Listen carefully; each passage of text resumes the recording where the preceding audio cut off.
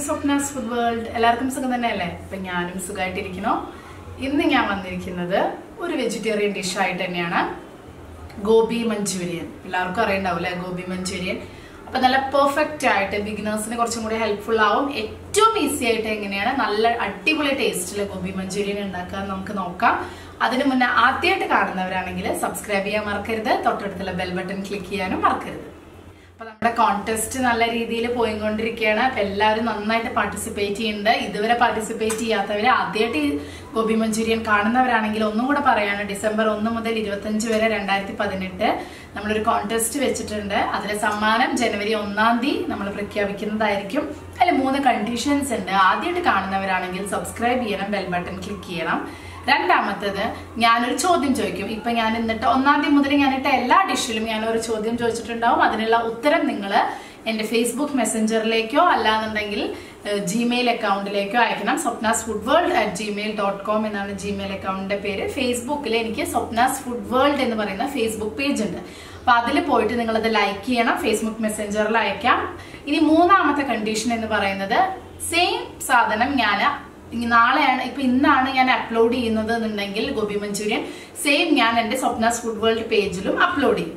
ആ അപ്ലോഡ് ചെയ്തത് നിങ്ങൾ പോയിട്ട് ഷെയർ പബ്ലിക് കൊടുക്കണം എന്നിട്ട് അതിന്റെ താഴെ കമന്റ് ചെയ്യണം ഷെയർ ചെയ്തു. അപ്പൊ എനിക്ക് കാണാൻ പറ്റും നിങ്ങളത് ഷെയർ ചെയ്തിട്ടുണ്ട് എന്നുള്ളത്. ഈ മൂന്ന് കണ്ടീഷൻസ് നിങ്ങൾ അപ്ലൈ ചെയ്യാണ് ഒന്ന് മുതൽ ഇരുപത്തഞ്ച് വരെ എന്നുണ്ടെങ്കിൽ നിങ്ങൾക്ക് ഗിഫ്റ്റ് ഉണ്ടാവും. അതിൽ നിന്ന് തിരഞ്ഞെടുക്കുന്ന മൂന്ന് പേർക്ക് വമ്പൻ ഗിഫ്റ്റുകൾ ഉണ്ടാവും. അപ്പൊ അത് ആദ്യമായിട്ട് കാണുന്നവർക്ക് വേണ്ടി ഒന്ന് പറഞ്ഞു എന്ന് മാത്രം കേട്ടോ. ഇന്നത്തെ ചോദ്യം എന്ന് പറയുന്നത് ഇന്ന് ഞാൻ ഉണ്ടാക്കിയ ഗോബി മഞ്ചൂരിയനിൽ ഞാൻ ഒരു ഇൻഗ്രീഡിയൻസ് കാണിക്കുന്നതിന്റെ ഇടയിൽ ഒരു ഇൻഗ്രീഡിയന്റ് കാണിക്കാൻ മറന്നു. പക്ഷെ ആ ഇൻഗ്രീഡിയന്റ് ഞാൻ ചേർത്തിട്ടുണ്ടായിരുന്നു ഉണ്ടാക്കുന്ന സമയത്ത്.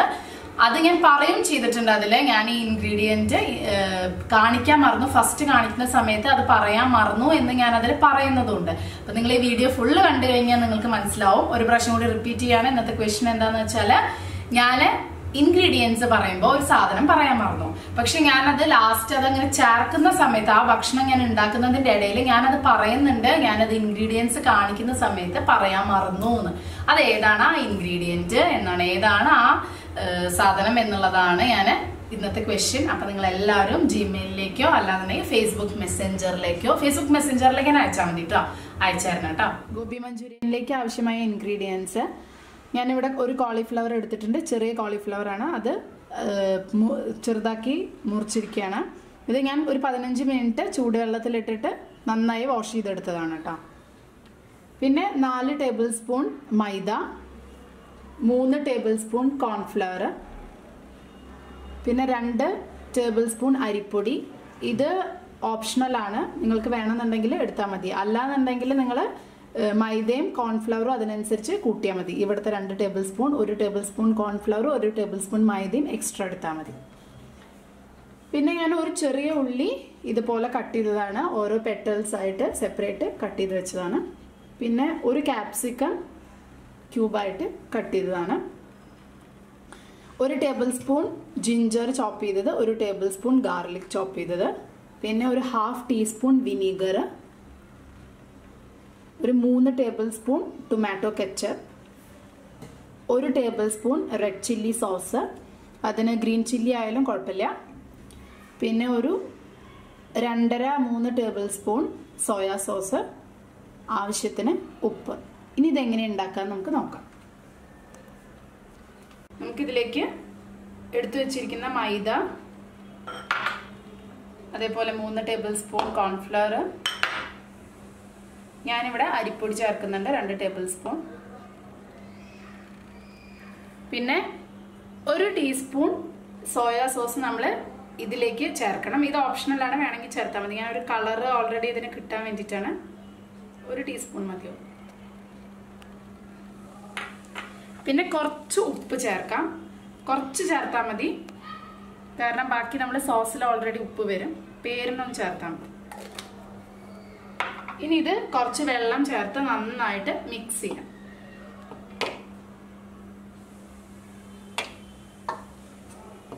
ഒരു പേസ്റ്റ് ആക്കി എടുക്കാം.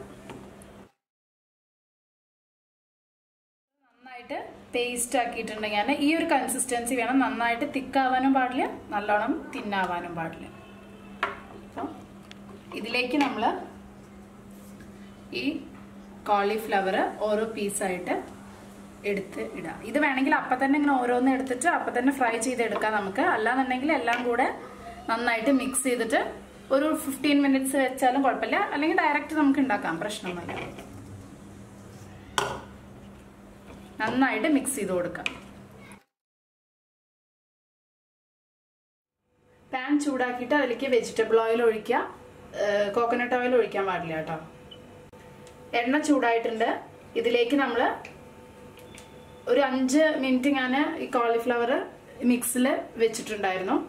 അത് നമ്മൾ ഡീപ് ഫ്രൈ ചെയ്തെടുക്കണം കേട്ടോ.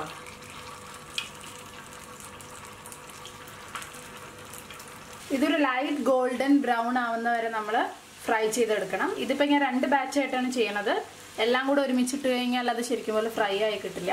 ഇതൊരു ലൈറ്റ് ഗോൾഡൻ ബ്രൗൺ കളർ ആവുന്നത് വരെ ഫ്രൈ ചെയ്താൽ മതി. ഒരുപാട് ഫ്രൈ ചെയ്യരുത് കേട്ടോ. ഇപ്പോൾ കോളിഫ്ലവർ നന്നായിട്ട് ബ്രൗൺ കളർ ആയിട്ട് ഇതാ സോയാ സോസ് നമ്മൾ ആഡ് ചെയ്തത് കൊണ്ടാണ് ഇങ്ങനത്തെ ഒരു കളർ വന്നത്. അല്ലെങ്കിൽ ഇത്ര ഭംഗിയുള്ള ഒരു കളർ കിട്ടില്ല കേട്ടോ. അതുകൊണ്ടാണ് ഇങ്ങനെ ആ മിക്സിലേക്ക് സോയാ സോസ് ആഡ് ചെയ്യാൻ പറഞ്ഞത്. പിന്നെ നിങ്ങൾക്ക് ഈ മിക്സിലേക്ക് ഈ കോളിഫ്ലവറിന് പകരം നിങ്ങൾക്ക് വേറെ ഏത് വെജിറ്റബിൾസ് ഇടാം? പൊട്ടാറ്റോ അല്ലെങ്കിൽ പനീർ അല്ലെങ്കിൽ എല്ലാം കൂടെ മിക്സ് ചെയ്ത ഏത് വെജിറ്റബിൾസ് ഇട്ടിട്ടും നമ്മൾ ഇതുപോലെ ഉണ്ടാക്കിയാൽ നല്ല ടേസ്റ്റ് ആണ്. അല്ലെങ്കിൽ എല്ലാം കൂടെ മിക്സ് ചെയ്ത് വെജ് മഞ്ചൂരിയൻ ആയിട്ടും ഉണ്ടാക്കാൻ പറ്റും. ഇനി നമുക്കിത് എടുത്തിട്ട് അടുത്ത ബാച്ച് ഇടാം. കോളിഫ്ലവർ റെഡി ആയിട്ടുണ്ട്. ഇനി നമുക്ക് ഇതിലേക്കുള്ള സോസ് ഉണ്ടാക്കിയെടുക്കണം. അതിന് വേണ്ടിയിട്ട് നമ്മൾ കുറച്ച് എണ്ണ ചൂടാക്കുക അത് ടു ടേബിൾ സ്പൂൺ മതി. അതിലേക്ക് അരിഞ്ഞു വെച്ചിരിക്കുന്ന ഇഞ്ചി വെളുത്തുള്ളി ഓരോരോ ടേബിൾ സ്പൂൺ വീതം നന്നായിട്ട് വഴറ്റുക. ഒന്ന് വഴന്ന് വരുമ്പോൾ പച്ചമുളക് പച്ചമുളക് ഞാൻ അവിടെ പറയാൻ മറന്നു ഇൻഗ്രീഡിയൻസിൽ നിങ്ങളുടെ എരിവിനനുസരിച്ച് നിങ്ങൾക്ക് പച്ചമുളക് ചേർക്കാം. ഇതെപ്പോഴും കുറച്ച് ഹൈ ഫ്ലെയിമിൽ ഇടണം. ഇങ്ങനത്തെയൊക്കെ ഉണ്ടാക്കുമ്പോൾ പിന്നെ നമ്മളിവിടെ ചോപ്പ് ചെയ്ത് വെച്ചിരിക്കുന്ന ഉള്ളി ക്യാപ്സിക്കം ഇട്ടിട്ട് നന്നായിട്ട് വഴച്ച അപ്പോൾ ഇതെല്ലാം നന്നായിട്ടൊന്ന് വഴന്ന് വന്നിട്ടുണ്ട്. ഇനി ഇതിലേക്ക് നമ്മൾ എടുത്തു വെച്ചിരിക്കുന്ന സോയാ സോസ് ഒരു രണ്ട് ടേബിൾ സ്പൂൺ സോയാ സോസ് അതുപോലെ ചില്ലി സോസ് ഗ്രീൻ ചില്ലി നിങ്ങൾക്ക് യൂസ് ചെയ്യാം.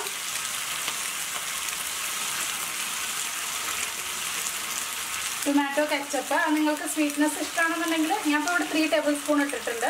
നിങ്ങൾക്ക് സ്വീറ്റ്നെസ് ഇഷ്ടമുള്ള അത്ര ഇടാം നന്നായിട്ട് വഴറ്റി കൊടുക്കാം ഈ സമയത്ത് നിങ്ങൾക്ക് ആ കുറച്ച് വിനീഗർ ഒരു അര ടീസ്പൂൺ വിനീഗർ പിന്നെ ആവശ്യത്തിന് ഉപ്പ്. കുറച്ച് ഉപ്പ് ഇട്ടാൽ മതി. കാരണം നമ്മൾ ഓൾറെഡി മൈദ മിക്സ് ചെയ്യുമ്പോൾ ഉപ്പിട്ടിട്ടുണ്ട്. പിന്നെ സോയാ സോസിലൊക്കെ അത്യാവശ്യം നല്ല ഉപ്പുണ്ടാവും. അപ്പോൾ പേര് കുറച്ച് ഉപ്പിട്ട് കൊടുത്താൽ മതി കേട്ടോ അല്ലെങ്കിൽ ഉപ്പ് കൂടും.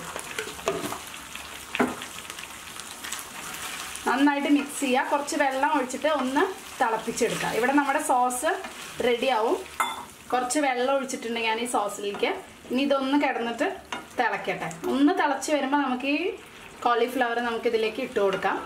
നിങ്ങൾക്ക് ഈവനിങ്ങിലൊക്കെയാണ് ഇത് ഉണ്ടാക്കേണ്ടതെന്നുണ്ടെങ്കിൽ നിങ്ങൾക്ക് രാവിലെ തന്നെ സോസും അതേപോലെ ഈ കോളിഫ്ലവർ ഫ്രൈ ചെയ്തതും ഉണ്ടാക്കി വെക്കാം. എന്നിട്ട് ഈവനിങ്ങിൽ കാരണം ഇത് ചൂടോടെ കഴിച്ചാൽ മാത്രമേ ടേസ്റ്റ് ഉണ്ടാവുള്ളൂ. അപ്പോൾ നിങ്ങൾക്ക് രാവിലെ തന്നെ നിങ്ങൾക്ക് സോസും ഇതും സെപ്പറേറ്റ് ഉണ്ടാക്കി വെക്കാം. എന്നിട്ട് എപ്പോഴാണോ നിങ്ങൾക്ക് ഇത് ആവശ്യം ആ സമയത്ത് രണ്ടും കൂടെ മിക്സ് ചെയ്തിട്ടൊന്ന് ചൂടാക്കി എടുത്താൽ മതി. സോസ് നന്നായി തിളച്ചിട്ടുണ്ട്. ഇനി ഇതിലേക്ക് കോളിഫ്ലവർ ചേർക്കുക എന്നിട്ട് നന്നായിട്ട് മിക്സ് ചെയ്യണം. എല്ലാ സ്ഥലത്തേക്കും ഇത് എത്തണം. ഒരു ത്രീ ടു ഫോർ മിനിറ്റ്സ് ഇതിങ്ങനെ കിടന്നിട്ട് തിളക്കട്ടെ. അടച്ചു വെക്കണ്ട കേട്ടോ. അപ്പോൾ ആ ക്രിസ്പിനെസ് പോകും അരിപ്പൊടി ചേർത്തുകൊണ്ട് നല്ല ക്രിസ്പി ആയിട്ടിരിക്കുന്നുണ്ട്. പിന്നെ നിങ്ങൾക്ക് ഹോട്ടലിലൊക്കെ കിട്ടുന്ന പോലത്തെ നല്ല കളർ റെഡ് ഇപ്പോൾ ഓൾറെഡി നല്ല റെഡ് കളർ ഉണ്ട് ഇതിന്. പക്ഷെ നല്ല റെഡ് കളർ വേണമെന്നുണ്ടെങ്കിൽ ഫുഡ് കളർ ആഡ് ചെയ്യാം. പക്ഷെ ഞാനിവിടെ അത് ആഡ് ചെയ്യുന്നില്ല. വീട്ടിലുണ്ടാക്കുമ്പോൾ ഇങ്ങനത്തെ നല്ലത്. ഗോപി മഞ്ചൂരിയൻ റെഡി ആയിട്ടുണ്ട്. ഇനി ഇതിലേക്ക് നമ്മൾ ലാസ്റ്റ് സ്പ്രിങ് ഓണിയൻ ഇട്ട് കൊടുക്കാം ഇതിന്റെ ആ ഗ്രീൻ പാർട്ട് നമ്മൾ ചോപ്പ് ചെയ്തിട്ട് ഇട്ട് കൊടുക്കാം ഇപ്പോൾ ഇവിടെ റെഡി ആയിട്ടുണ്ട്. നമുക്ക് ഗ്യാസ് ഓഫ് ചെയ്യാം.